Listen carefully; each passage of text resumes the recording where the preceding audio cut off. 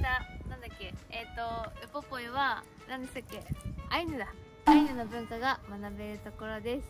動画どれだけ撮れるかわかんないですけど念願のウポポイなので楽しみたいと思います。ひんなひんなでしょ。知ってる。行きましょう。ははい。あ本当だ。そうそう。あ壁に映ってんだ。え見えるかないいっすか？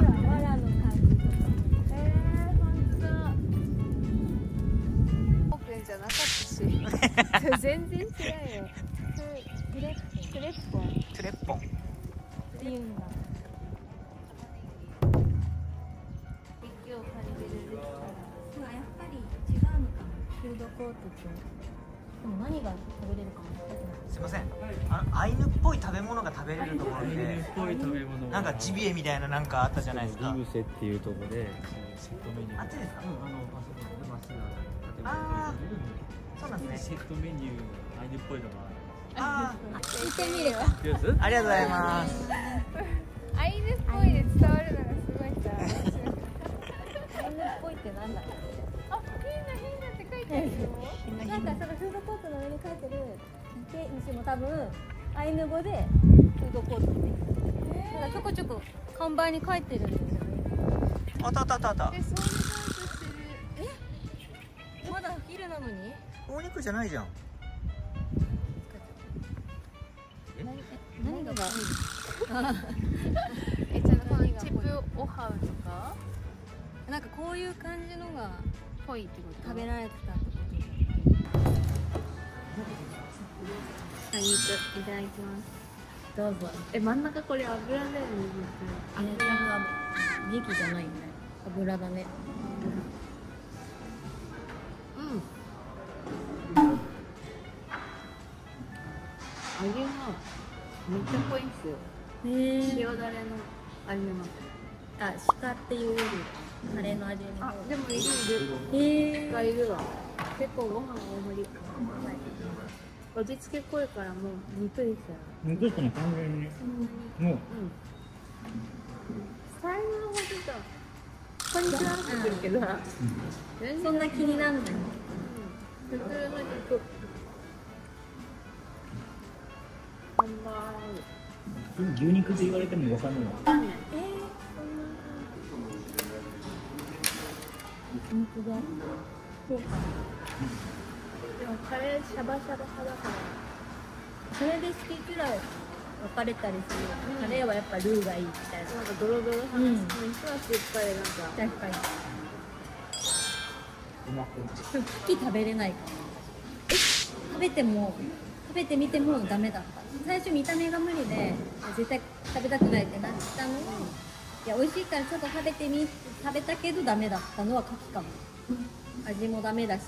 えー、美味しい苦手。美味しさあんまいけないじゃん 牡蠣はちょっと苦手。なんだ。オイスターバーいけるのかと思ったの。にえ全然他のもの食べるからコさんって5段とか6段ぐらいの階段をなんか解除されるのってあんま好きじゃないですか。乗ったまんま。全然。えじゃあ別に普通に行けるんじゃないうんいけそうだけどどんどん持ち上げてくださいって感じ。いけそうだけどただ私の車と違ってこう持つここがないから下のだけががあるから逆にあじゃあ行きやすい。逆に多分持ちやすい。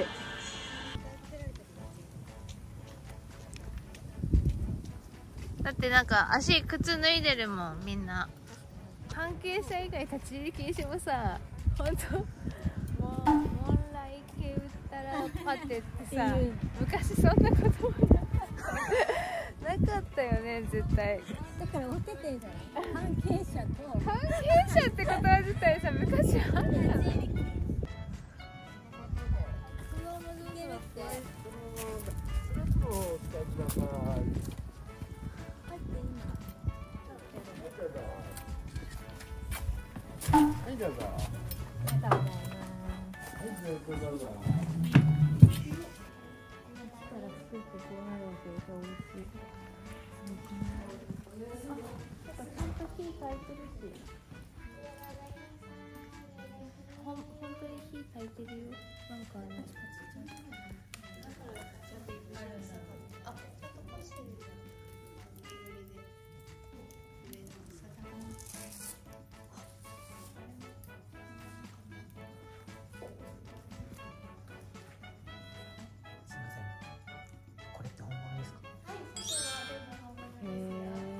びっくりした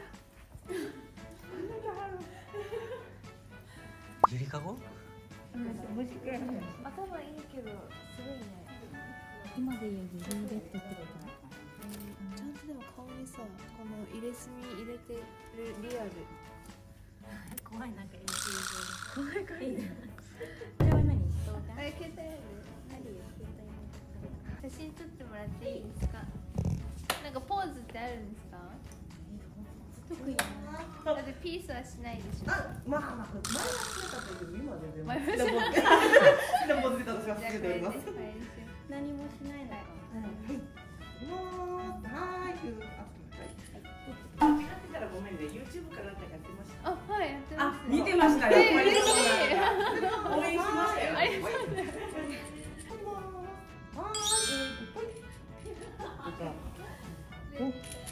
で。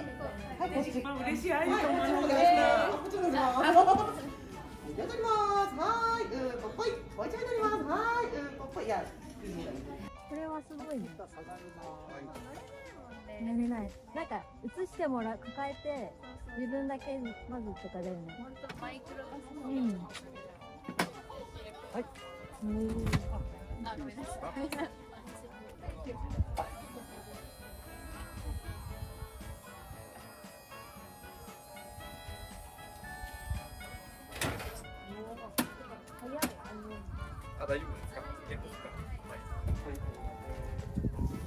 あさみさんこれ。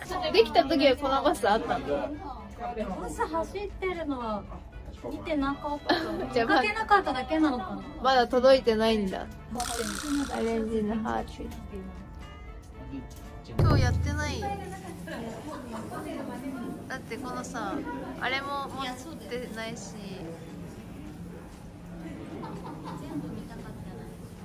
アイヌ語は分かんないからやっぱその音楽をジャズミュージック聴いてるような感じというかさなのかな？こっちが洋楽わかんないで聞そういてるそうそうそう感覚そうそう。でも踊りはわかるし、なんか弾き心地みたいなさ。いやそうだそういうのはわかるから。えでもめっちゃ良かった。なんかプロジェクションマッピング使ったやつってあるけどちょっとうーんっていうのが多いけどなんかちゃんとしてる。ちゃんとマッチしてるなんか水のさ床のやつとかうん木とかもうんうんさそうなんかちゃんとしてる。リアルでさ本物か？っていうくらい。あの男の歌歌った方の男の人語りじゃなくて、もっとなんか若いのかなって思ったの。座ってる時にね。で歌った瞬間さすげえうまいって思って。鳥の鳴き声とか女の人たち表してたの分かった？いやみたいな鶴のさそう。時さ誰？と思って。すごかった。すごいあんなえのそう出んのうまいっしょ。うまいっしょ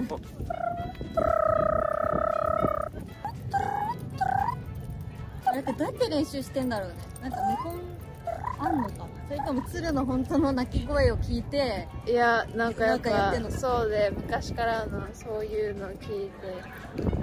伝統芸能みんなに見てほしい。ありがとうございました最後ねよかったね本当に挽回したねえ、何何回できなかったからさなんかそう、だからちょっとね、に、ちゃんと時間を見てくることが一番いやおすすめいだねね。すごい。最後でめっちゃいいのめっちゃいい。そしてすごい晴れてる、急に。最後の締めがあれでよかったなよかった。はい、ということで、札幌編というか、あさみちゃんとの一日が終わりました。ご飯食べてきて、今帰ってきました。ただいまもう11時になりますね。すごい、いっつも朝早くて、早起きしなきゃいけないから、この旅の中で11時まで起きてるっていうことが基本的になかったんだよね。なんか夜ご飯長い時間食べに行くっていうこともなかったんですけど、ゆっくりご飯食べてお話しすることができて、えー一日めちゃくちゃ楽しく充実した日々でございました。え本当にね、滝の霊園のモアイとか大仏山はまあ札幌市内からだって車で30分くらいで着くから絶対行った方がいいなって思うしウポポイはマジで行った方がいいアイヌの文化に触れる機会って皆さん基本的にないと思うしやっぱアイヌの人たちの生活全部理解してるわけじゃないけど知ることも大事だしなんでだってその伝統の踊りちょっとしか見れなかったなんかいろんなパターンがあって時間時間で違うみたいだけど一部見ただけでも本当に楽しかったしわーみたいな感じじゃない本当に伝統って感じだったけどなんかすごく私は心に響くものがありました。まあ、そんなお年頃になったのかもしれません。はい、ということで、この回ももう終わりです。毎回さ、エンディング撮らないから、毎回エンディング、ホテルのこのゾーン、このシーンなんだけど、とりあえず終わりです。明日は、やっと、やっとっていうか、ゆっくりできる日で、小樽に行こうと思います。で、一人で小樽に行こうかな、と思ってるので、基本的に時間は決めなくて、まずはゆっくり起きて準備して行ってで夜ね明日からよさこいソーラン祭りっていう札幌で大きい祭りがあるんだって。知らなかったけど。でも明日初日で夜からしかないからステージだけしかないからまあちょっと遠いから見に行こうかどうか迷ってるけどでもせっかくだから行ってみたいな。でもその次の日函館移動だから朝早いなっていうところで今迷ってます。まあ、そんな感じでまた次回小樽編かな？じゃあ次の回をお楽しみにはい。ということで、この動画が良かったなって思っていただき、面白かったなと思っていただけたのであれば、ぜひいいねボタンと、あとはチャンネル登録をよろしくお願いします。では、本日も最後までご視聴ありがとうございました。バイバーイ。